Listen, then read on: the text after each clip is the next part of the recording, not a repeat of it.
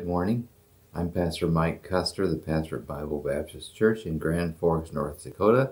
I'm glad to be able to share some thoughts with you from God's Word today.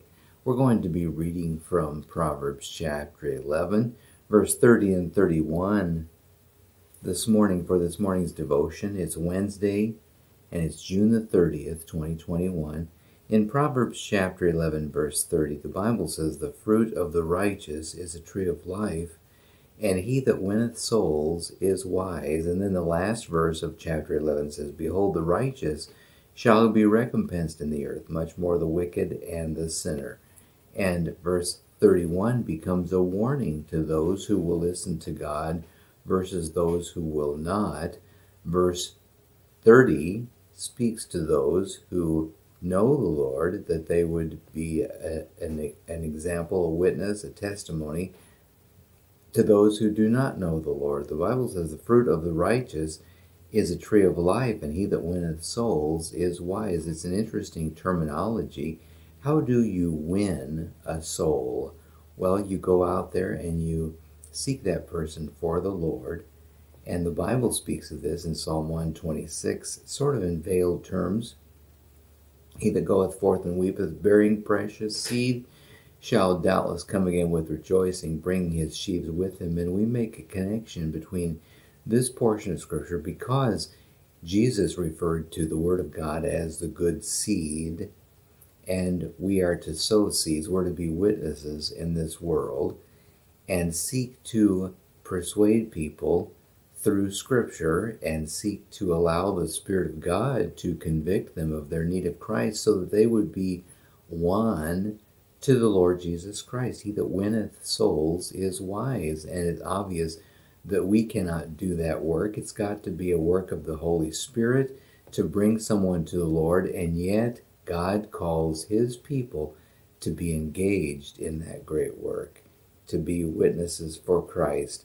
Acts 1 8 is where the Lord said, Ye shall be witnesses unto me, both in Judea and all Samaria, and into the uttermost part of the earth.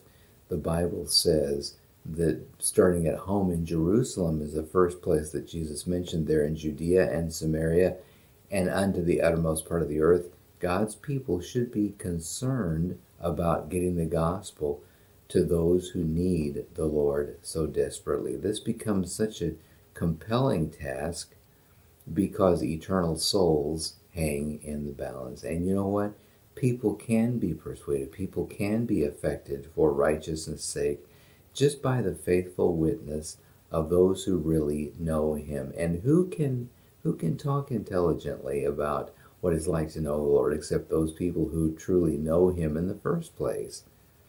Who can speak compellingly except those who have been forgiven, those who know Jesus Christ as Savior, those who realize the peace and the joy that the Lord gives. May God help us to be faithful and effective witnesses because the righteous shall be recompensed in the earth, much more the wicked and the sinner. And there is a judgment day.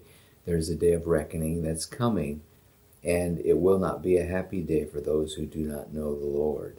It'll be a joyful time for the righteous, for those who know Christ as Savior, but not so for those who do not. They'll be turned in, the Bible says the wicked will be turned into hell, and all the nations that forget God, and people who made some excuse and rejected Christ because of it will have to face the wrath and judgment of Almighty God for their sins. It will not be a joyful time or a happy day for them, but it will be for all those who are saved, and God's people should be willing to share that great truth with others so they can come to know the Lord as well. Be a good witness for Christ. Be a good example. Be a good testimony and vocalize your testimony, your salvation, so others can hear about it and know about the Lord.